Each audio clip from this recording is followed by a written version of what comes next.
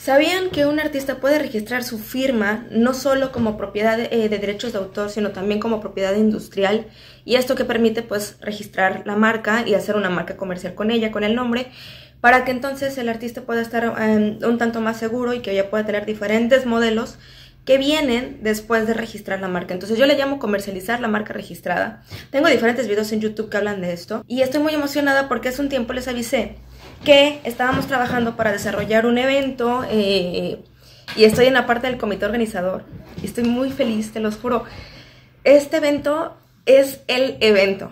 Este evento es el evento. Estamos platicando diferentes expertos de diferentes temas con respecto a creatividad, marketing, relaciones públicas, trayectoria, eh, la nueva tendencia con las galerías digitales, con la parte eh, del propósito del artista. Em, por ahí un maestro me dijo, es que si el arte tiene un propósito, entonces ya no es arte. Ok, vamos a hablar de la persona, del artista, de su propósito, de su mensaje. Entonces, eh, se ha vuelto ya un evento que ha traído muchas miradas. Espero que puedas incorporarte a este movimiento. Sabes, desarrollé el manual para emprendedores y empresarios llamado Emprende Arte, que por si no lo sabes eh, de qué se trata todavía, te lo comento rápidamente. Es un manual eh, que te da el primer contacto hacia el mundo de los negocios con respecto a tu emprendimiento, ya sea el giro que tú, tú, tú eh, toques. Te platico las experiencias que he tenido con diferentes empresas, las etapas que se requiere para que entonces comercialices durante el proceso, no como que tienes que tener todo, invertir en todo y después vendes, no, vas vendiendo desde el primer día, vas teniendo ingresos desde el primer día, que eso es mucho, mucho de los problemas que, mucho esa, es, una gran parte fundamental de los problemas que se tienen en los, en los negocios, ¿no? A la hora de emprender. Es que tengo que invertir un montón todo el tiempo y no, no recupero, entonces no sé, voy a fracasar. Y por eso muchos emprendedores, artistas, eh, gente muy talentosa, deja sus ideas y se regresa a los modelos tradicionales. Entonces, ¿qué pasa? El artista es una persona creativa, totalmente, eh, diversa, divergente.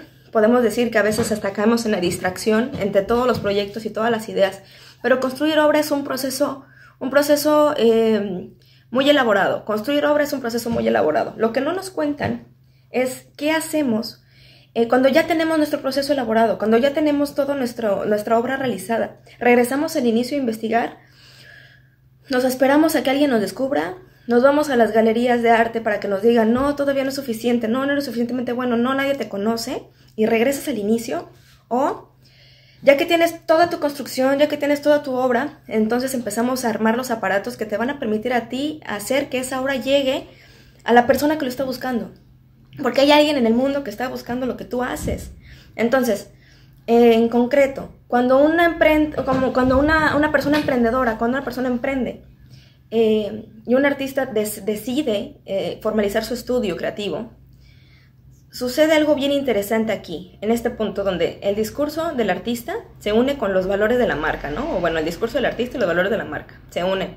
Entonces, es en este punto central en donde existe el marketing, o se puede también trabajar la parte de que una marca patrocina a un artista, eh, se desarrollan eventos, perdón, se desarrolla todo un, movimiento, una comunidad, eh, un porqué de, de, la coexistencia, ¿no? Entonces una marca puede patrocinar a un artista, sí, totalmente. Un artista puede registrar su marca, incluso patrocinar o asociarse o pertenecer a diferentes asociaciones, totalmente. Totalmente. Entonces, el, 18 de marzo, el 18 y 19 de marzo, voy a extender esta clase, eh, voy a extender este comentario, porque, em, digo, no es necesario que hayas leído Arte todavía.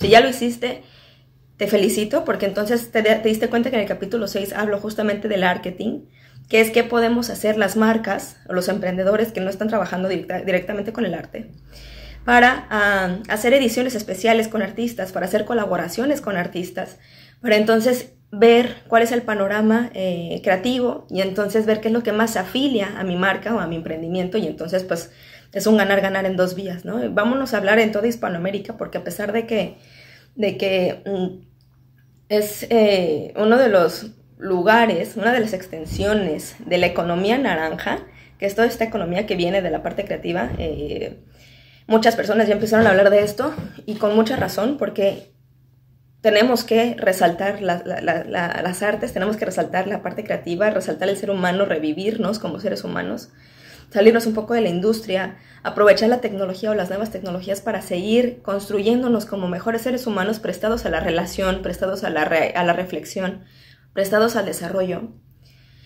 Y entonces, en toda América, en toda América y en toda, toda Europa hay miles de personas hablando español, millones de personas hablando español que son talentosas, que son creativas, que son valientes, que son muy echadas para adelante. El otro día tuve una conversación con una amiga que es colombiana, es emprendedora, está viviendo en la Unión Europea y, me dice, es que, es que los colombianos somos muy echados para adelante, ¿no? Yo creo que también todos los mexicanos, eh, los chilenos, los argentinos, toda la gente que se fue a Estados Unidos, la gente de Los Ángeles, o sea, es un segundo México. Dicen por ahí que Santana eh, vendió el territorio mexicano, pero la verdad es que nosotros mismos fuimos a apropiarnos de, esa parte. Entonces, e incluso el otro día platiqué con Enrique Chu, que tiene esta trayectoria bien interesante mezclada entre, entre la parte fronteriza, ¿no? Entre entre Estados Unidos, con toda la parte latina y el norte de México, con todo Tijuana, el muro fronterizo. Y estoy muy emocionada, viene algo bien bueno, viene algo bien interesante. Está totalmente abierto a la crítica, está abierto a la academia, está abierto a diferentes empresas, asociaciones que se quieran sumar a difundir el mensaje. Por favor, siéntanse libres. a los artistas más independientes que no quieren vivir de su obra, que no quieren vender su obra, por supuesto, también están invitados a conocer, a reflexionar, a criticar, a entrar al debate. Eh, para que se atrevan un poquito, ¿no? A romper esa burbuja y a los que ya viven del arte, a los que ya son profesionales y se están dedicando a, la venta y distribución, les conviene muchísimo porque te, enseña diferentes modelos o modelos adicionales que no has visto, incluso a relacionarte. Si tienes una galería, si, tienes, si eres curador de arte, tienes una galería, estás en esta etapa de, dejar a lo mejor un, un trabajo, mm, vamos a llamarle que no tiene tanto que ver con lo que tú quieres hacer o, ya, estás, ya estás trabajando por tus planes eh, 2022, 2023 y de aquí a cinco años. Este es un evento que te viene muy bien porque incluso si estás en el proceso, esto va a enriquecer muchísimo tu proceso.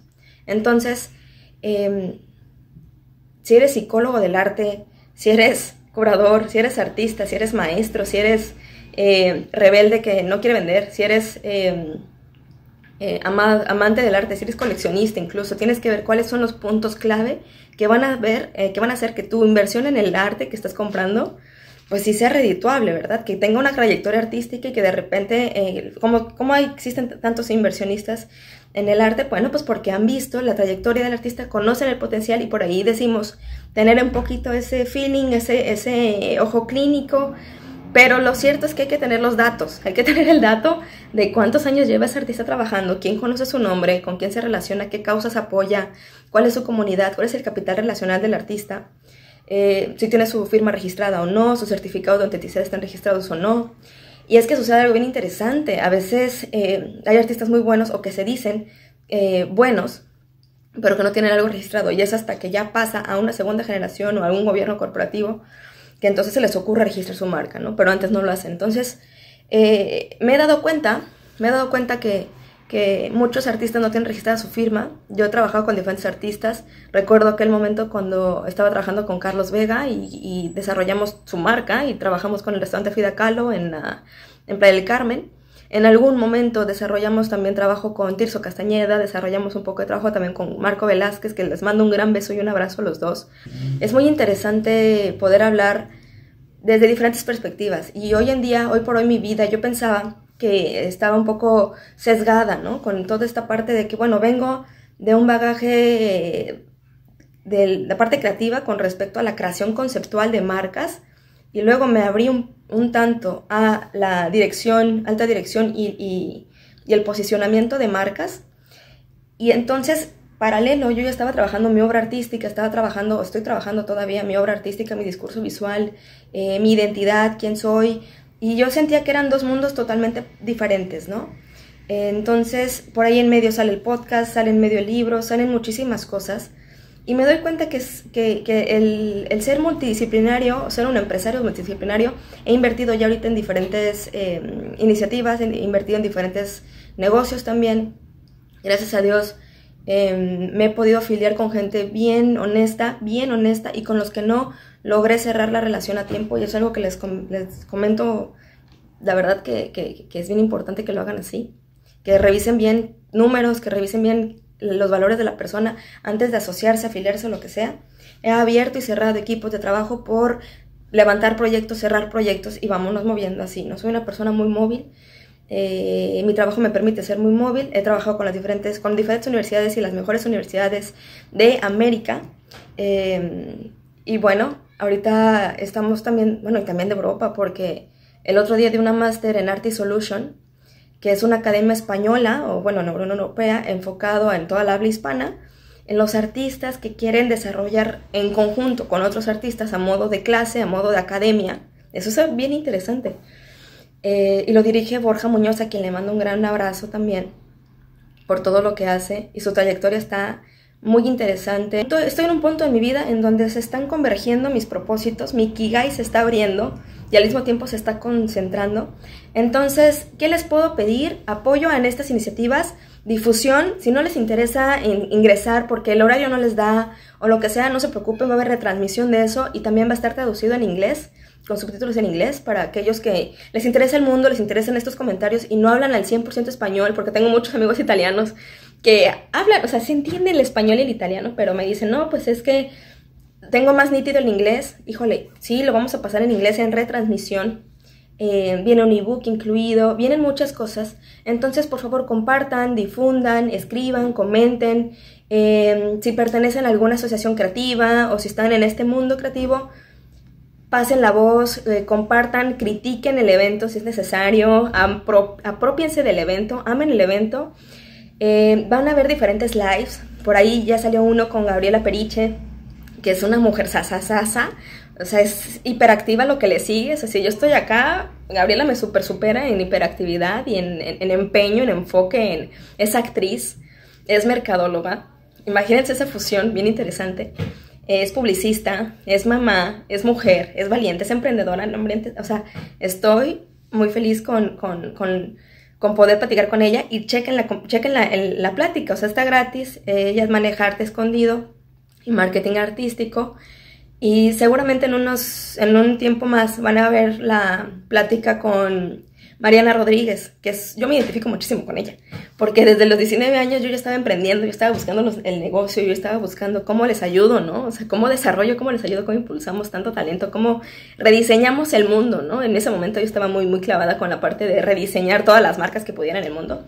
Hoy en día ya no me enfoco en eso, porque estaba muy enfocada en el creación de logotipos y rápido y la marca y ahí está y te entiendo y te hago todo un briefing bien profundo y etcétera. Hoy en día hago eh, cosas más especializadas con respecto a la marca, trabajo la figura retórica. Y entonces, ahora que conozco a Mariana, Mariana es una mujer que vive de entrada en la caótica ciudad de la Ciudad de México, que es, es surrealista por sí misma, que está llena de cultura, llena de arte, eh, llena de diversidad. Luego entonces está eh, en la parte de la arquitectura y al mismo tiempo se le ocurrió el negocio y ha viajado por el mundo también. Y yo dije, wow, o sea, está súper joven, qué mejor que aliarnos, qué mejor que ayudarnos. O sea, yo me acuerdo que cuando yo era Emily Velasco de 19 años, tratando de salir adelante, metiéndome a congresos y buscando a los expertos de, oiga, maestro, ¿cómo puedo eh, participar como a su asistente? ¿Cómo puedo ayudarle con su presentación? Porque veo que tiene muchas áreas de oportunidades desde el punto de vista de diseño. Yo me imagino que me hubiera encantado conocer a la Emily Velasco de 30 años, diciéndole, oye, sí, te impulso, te ayudo, te jalo. Entonces, hoy en día que tengo esta, esta oportunidad de, poder impulsar eh, todo el proyecto de Mariana también a través de Sala Marte, que es una sala impresionante con 3.000 artistas que hacen lo que nadie ha hecho en México, pensar en el artista, eh, no solo a su beneficio personal. Entonces, se vuelve una labor bien bonita, eh, muy florecedora. Espero que, que, muchas personas que estén viendo este video puedan encontrarse, puedan eh, adentrarse, darle la oportunidad al evento. Denle la oportunidad al evento, denle la oportunidad a su vida, denle la oportunidad a su tiempo de poder entonces explorar cosas, porque va a haber un workshop en donde ustedes sacan su lápiz y papel, su computador y todo. Y literalmente trabajan ahí con nosotros, ¿no? Entonces, yo quiero extender más este comentario a modo de desarrollar y de trabajar y de conocer al artista y desarrollar negocios y registro de marca, de escribir, etc. Em, y bueno, ahorita estamos enfocándonos ya en, ofrecer servicios netamente, literalmente en, en, darles todo el ecosistema que les permite tener la mentalidad necesaria, suficiente, fuerte para poder emprender con el arte. Ya sea que tengas tu estudio creativo, que seas un emprendedor o un empresario o un inversionista o coleccionista, que tengas todas las herramientas para que puedas realizar bien eh, tus objetivos, registros de marca, registros de obra, em, registros de obra literaria, música también, eh, obra visual, artistas, eh, escultores, etc. Por ahí también ya hemos tocado el punto de registro de patentes, la parte de mentoría, van a haber mentores grupales, el correo, que es el, el, medio que usamos para meetings, para eh, calendario, para el calendí, eh, para todo eso, ¿no? Entonces, vienen cosas bien interesantes. Eh, si se quieren sumar también a Emprenderte de alguna manera, por favor, dejen mensaje, manden correo, envíen su currículum. Y el equipo está, está creciendo muchísimo. estamos buscando gente valiente, comprometida y que, quiera tener sus, sus ingresos adicionales, trabajando también a modo de, de regalías, ¿no? Entonces se vuelve muy interesante todo lo que estamos trabajando en Mentalidad Emprenderte, ya a dos años del lanzamiento del libro, con una buena respuesta. Eh, ya ahorita con todo el aprendizaje que tengo y la madurez que he logrado también, diferentes clases, mentores, etcétera, me han enseñado muchísimo y bueno, las horas de libros y de productividad que tengo. Quiero compartirlas, porque no me van a servir de nada si yo las tengo en mi mente y no me sirven de nada si yo me las quedo. Entonces, 18 y 19 de marzo el Congreso, es el Congreso del año. Es el Congreso Iberoamericano, el Congreso Iberoamericano de Innovación, Innovación Artística. Todo lo relacionado con arte, negocios, visibilidad, trayectoria del artista, propósito del artista, desarrollo y registro de marca. ¿Qué sigue? ¿Cómo lo posicionamos? ¿Cómo lo comercializamos? Vender contigo. Toda esa parte de trabajo fino. Vamos a verlo en el evento. ¿Requiere una inversión? ¿Sí? ¿Requiere compromiso? Sí. ¿Requiere valentía? Sí. Porque ¿qué crees? Tienes que empezar a creer en tu trabajo, en tu talento, porque ya estamos creyendo en ti. Entonces, dale, te esperamos en el evento, no te lo puedes perder, 18 y 19 de marzo. Vas a conocer a los mejores expertos, a los mejores especialistas eh, de hoy por hoy, del mundo actual, no del año pasado y de hace 10 años, no, del mundo actual de lo que está pasando y lo que viene. Entonces, abusados, toda la parte de tecnología, blockchain, NFTs, smart contracts, em, de regalías, eh, nuevos modelos, nuevas aplicaciones, todo eso viene durísimo en el evento. Entonces, los esperamos allá. Eh, no les quiero dar todavía más detalles, no les quiero decir todo. Para eso están las, las landing page también, para que puedan estudiar, reflexionar, hagan sus cálculos, tienen tiempo para ahorrar, tienen tiempo para invertir, tienen tiempo para, para hacer sus pagos em, en su sobre especial de congreso, ¿no? Entonces ahí van guardando todo. Por acá venden obra y lo meten y si todavía no venden obra, tienen que lograr vender una obra y si no escriban, yo les ayudo a vender una obra para que puedan tener ya su entrada al congreso. Eh, porque tiene que salir, o sea, tiene que salir. De lo que tú crees, tienes que invertirte en ti mismo y entonces seguir saliendo. Esto va, es un círculo muy bonito con respecto al dinero y, toda la parte de la abundancia. O sea, lo manifiestas haciendo. Así, así se manifiesta. Esa parte de que me quedo aquí meditando y espero que me caiga. No, el universo siente tus acciones. El universo siente cómo te sientes. Entonces, si te sientes agradecida, agradecido, si quieres empezar a invertir en el mundo del arte, eh, si eres una mujer de alto valor, si eres un hombre de alto valor que también quiere entrar a la parte cultural y no sabe cómo, este es el evento. Eh, para que conozcan catálogo, para que conozcan cómo realizar a lo mejor una subasta, cómo, bueno, más bien cómo participar en subastas, porque hay muchísimas, también les voy a dejar ahí el comentario, eh, los que están haciendo subastas ahorita más bien dejen sus comentarios por favor, porque se están haciendo muchas subastas virtuales y están muy buenas las oportunidades.